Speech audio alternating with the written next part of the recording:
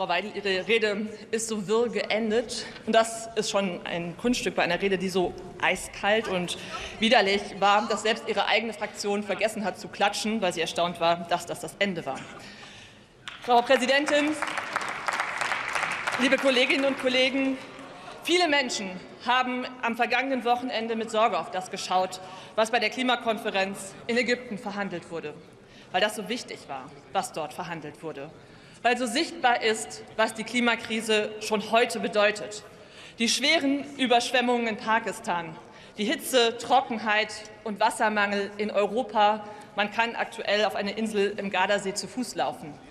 Und auch hier in Deutschland. Und Frau Weidel, wenn Sie über das Ahrtal reden und nicht über die Klimakrise, dann haben Sie das Thema einfach nicht verstanden.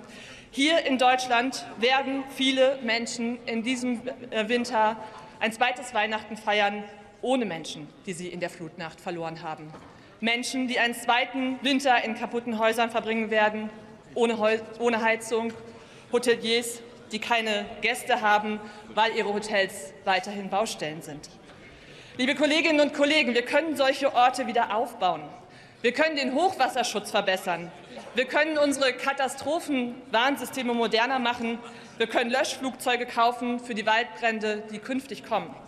Aber wir können nicht mehr verhindern, dass solche Katastrophen mehr werden, dass das öfter passiert. Das ist die Vergangenheit.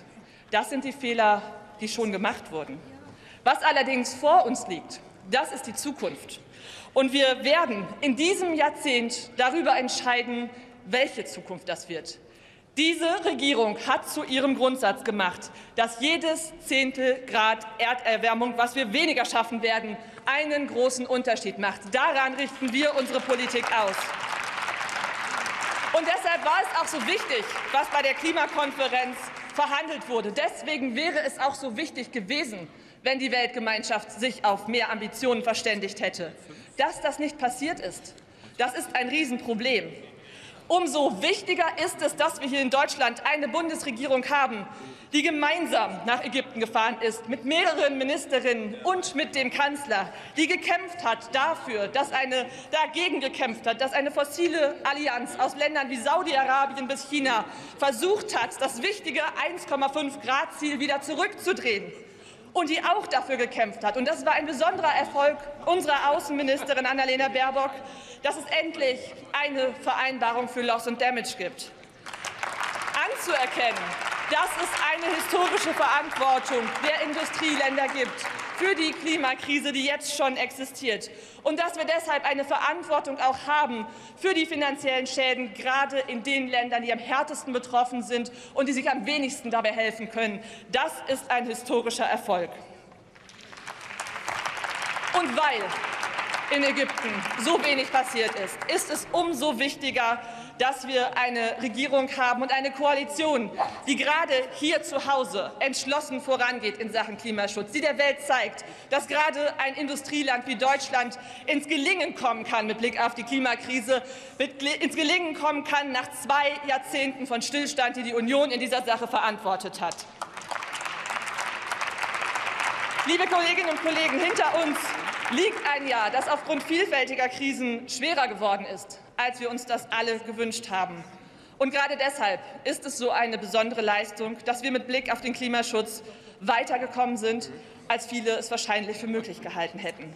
Wir werden das Tempo beim Ausbau der erneuerbaren Energien verdreifachen. Wir werden endlich alle Hürden und Hindernisse aus dem Weg räumen, die Sie in den vergangenen Jahren aufgebaut haben. Deutschland war mal das Land, das die Energiewende erfunden hat, und Sie von der Union haben viel dafür getan, dass das in Vergessenheit geraten ist. Der Windausbau ist nach 2017 so heftig eingebrochen, dass die Windenergiebranche sogar einen Namen dafür hat, und das heißt die Altmaier-Delle. Damit machen wir jetzt Schluss. Und wir haben es geschafft, in einem Jahr, das so geprägt war von den fossilen Energien, in diesem Jahr haben wir es geschafft, den Kohleausstieg in Westdeutschland um acht Jahre vorzuziehen. Zwei Jahre, nachdem der Deutsche Bundestag jemals überhaupt einen Kohleausstieg beschlossen hat. Und ich bin Kölnerin. Das Rheinische Revier, das liegt bei mir vor der Haustür. Und wer jemals eine, an einer Kante eines Braunkohletagebaus gestanden hat, Wer den Irrsinn der Zerstörung gesehen hat, den diese gigantischen Löcher verursachen, Löcher, die einfach alles fressen, Häuser, Bäume, Kirchen, Straßen, wer mit Menschen reden musste und denen erklären musste, dass es irgendwen gibt in diesem Land, der es für eine gute Idee hält, die Heimat dieser Menschen dort, wo ihre Eltern und Großeltern aufgewachsen sind, einfach fressen zu lassen von einem Loch, der weiß, wie wichtig das ist, was wir hier in diesem Jahr erreicht haben.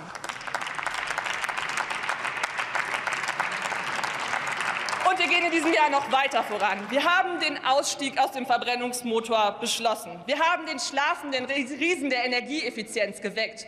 Die Gasheizungen werden ab dem nächsten Jahr nicht mehr neu eingebaut. Wir werden als Bundesrepublik Deutschland aus der Energiekarte, aus dem klimaschädlichsten Vertrag, den die Europäische Union jemals beschlossen hat, aussteigen.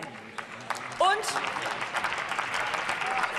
wir haben mit dem 49-Euro-Ticket ein Ticket geschaffen, das das Tarifsystem für Busse und Bahnen revolutioniert. Ein Ticket für ganz Deutschland. Deutlich billiger als nahezu jedes Ticket, was man als Monatsticket in diesem Land kaufen konnte. Was für ein Riesenschritt. Wer hätte vor einem Jahr gedacht, dass so etwas in so kurzer Zeit möglich gewesen wäre? Reicht das alles? Natürlich nicht. Wer die Klimakrise ernst nimmt, der weiß, dass wir uns deutlich mehr werden anstrengen müssen. Im Verkehrssektor alleine, das sagen die Sachverständigen der Bundesregierung, werden wir das Tempo vervierzehnfachen müssen. Wir werden den Kohleausstieg im Osten umsetzen müssen. Wir werden eine Solarpflicht auf allen Dächern einführen, um nur einige Beispiele zu nennen.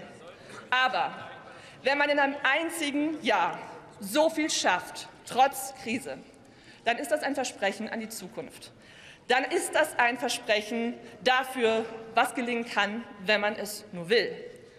Ich stehe hier vor Ihnen als Vorsitzende einer Regierungsfraktion, die mit all ihren Abgeordneten, mit jedem Einzelnen von uns, mit all unseren Ministern und insbesondere ganz voran mit Robert Habeck, jeden Tag daran arbeitet, dass aus dem Müssen ein Machen wird.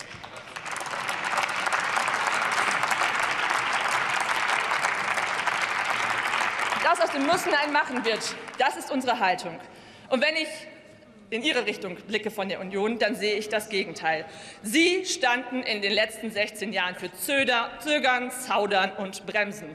Herr Merz, Sie haben von dem Thema Wettbewerbsfähigkeit eben gesprochen. Und ich sage Ihnen, Sie hätten aus Deutschland lieber ein Industriemuseum gemacht, als sich zu trauen, auf das Thema Innovation zu setzen und mit der Elektromobilität endlich mal einen Schritt in die Zukunft zu gehen. Sie haben uns so lange die Geschichte davon erzählt, dass es zu Kohle, Öl und Gas keine Alternative in der Industrie gibt, dass Sie das wahrscheinlich immer noch gemacht hätten, selbst wenn die ganze Welt schon auf grünen Wasserstoff gesetzt hätte.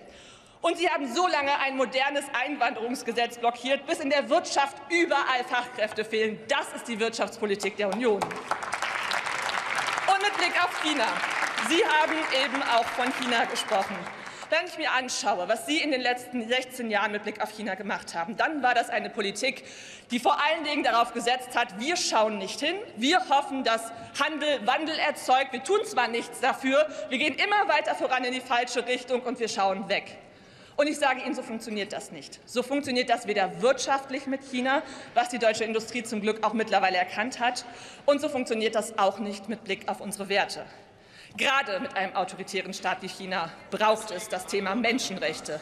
Gerade dann ist es wichtig, auf starke Lieferkettengesetze zu setzen, auf das Verbot von Zwangsarbeit zu setzen und nicht einfach ein Investitionsabkommen mit China weiter voranzutreiben, wie Angela Merkel das die ganze Zeit wollte. Werte und Haltung, Menschenrechte spielen nicht nur in der Außenpolitik eine Rolle, spielen nicht nur im Sport eine Rolle, sie spielen auch in der Wirtschaft eine Rolle. Und dann komme ich zum Thema Klimaschutz. Während die Welt nach Ägypten geschaut hat, hat man von Ihnen, Herr Merz, herzlich wenig dazu gehört. Ich habe mich gefragt, war Ihnen das eigentlich wirklich so egal, was Sie da verhandelt haben?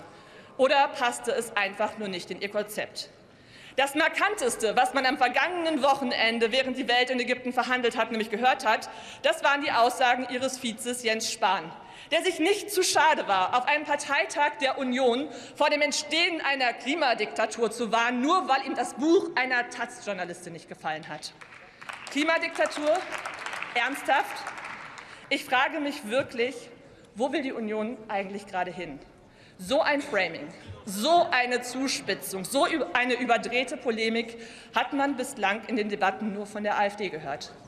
Und ich sage Ihnen, Sie tragen auch als Opposition eine Verantwortung für die Diskussion, die wir hier führen. Wenn Sie, Herr Merz, bei der Aufnahme von ukrainischen Geflüchteten von Sozialtourismus sprechen, was vorher nur in rechten Blogs und mit russischer Propaganda aufgeschrieben wurde, und wenn Sie das über wiederholen und beim Thema Sozialleistungen von Pull-Effekten und falschen Anreizen sprechen, dann macht das was mit diesem Land dann vergiften Sie unsere politische Debatte.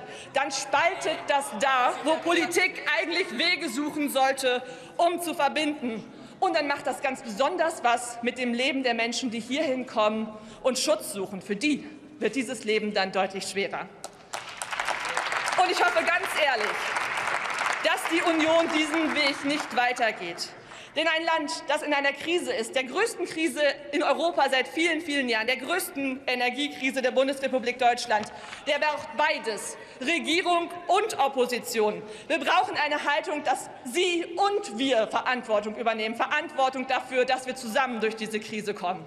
Gerade weil wir die Ukraine in diesem Winter, der so hart und kalt wird, wo Russland auf die Infrastruktur geht, wenn wir die Ukraine mehr unterstützen müssen, braucht es Zusammenhalt statt Spaltung, auch in den deutschen Debatten. Und wenn wir die Menschen in diesem Land bei einer extremen Inflation, bei krassen Preissteigerungen unterstützen müssen, auch dann braucht es Zusammenhalt statt Spaltung. Wir als Regierung und als Regierungsfraktion tun alles dafür, um diese Entlastung auf den Weg zu bringen. Vier Entlastungspakete, 300 Milliarden Euro, das ist unsere Antwort auf diese Krise gewesen. Und wir haben insbesondere die Menschen dabei in den Blick genommen, die die Unterstützung am meisten brauchten. Durch die Erhöhung des Wohngelds, durch den Kinderzuschlag, durch eine Erhöhung des Kindergeldes, des 49-Euro-Tickets und auch die Energiepauschalen. Das sind unsere Antworten. Und deshalb ist auch das Bürgergeld so wichtig. Dass die Regelsätze nun hoffentlich, wenn heute Abend der Vermittlungsausschuss zusammenkommt, um mehr als 50 Euro steigen, das ist ein Gebot des Anstands. Die Kölner Tafeln die haben mir vor kurzem erzählt, dass sie bei der Essensausgabe momentan nach 20 Minuten schließen müssen. So groß ist der Andrang, dann ist das Essen weg. Das haben die noch nie erlebt. Da kommen Menschen, die noch nie in ihrem Leben vorher bei den Tafeln waren. Und deswegen ist es so wichtig, dass wir heute Abend hier endlich handeln. Ich freue mich, wenn Sie von der Union da heute Abend zustimmen. Aber Ihre Kampagne dafür, dass Sie sagen, Arbeit lohnt sich nicht mehr in diesem Land, die hätten Sie sich wirklich sparen können. Denn das trägt auch wieder nur dazu bei, das Land zu spalten. Und wenn Sie es ernst meinen würden damit, die Interessen derjenigen zu vertreten, die geringe Einkommen haben. Warum machen Sie die Kampagne dann eigentlich immer falsch rum? Den Menschen, die wenig Einkommen haben, denen nützt es doch nichts, dass diejenigen, die noch weniger haben, weniger bekommen. Denen würde es doch etwas helfen, wenn man ihre Einkommenssituation verbessert. Was ist denn das für eine Logik? Ich freue mich, wenn wir es heute Abend schaffen sollten, ein Bürgergeld zu beschließen, das mehr ist als eine Regelsatzerhöhung, das den Vermittlungsvorrang abschafft, das Hinzuverdienstregeln verbessert, das Weiterbildung stärkt, das mehr auf Kooperation und Vertrauen setzt und auf weniger Sanktionen. Ich sage Ihnen ganz ehrlich, gerade in einer Krise entscheidet sich eine politische Haltung daran, wie man mit denjenigen umgeht, die am meisten Unterstützung brauchen. Das sind die Menschen, die zu uns fliehen. Das sind die Menschen, die keine Arbeit gefunden haben. Ich bin froh, einer Koalition anzugehören, die sich als Haltung für Respekt, Würde und Solidarität entschieden hat. Offensichtlich ganz im Gegenteil zu Ihnen. Katharina Dröge ist Vorsitzende der Fraktion Bündnis 90 Die Grünen und hat hier deutliche Angriffe auf die Union und äh, gerichtet und dazu diversen Äußerungen zum Thema Klimaschutz, Flüchtlingen aus der Ukraine und Bürgergeld sich positioniert. Ansonsten erwartungsgemäß äh, natürlich die Schwerpunkte Klimaschutz und erneuerbare Energien im Mittelpunkt. Katharina Dröge war übrigens vor wenigen Tagen Gast in unserem Podcast unter drei. Können Sie doch gut reinhören und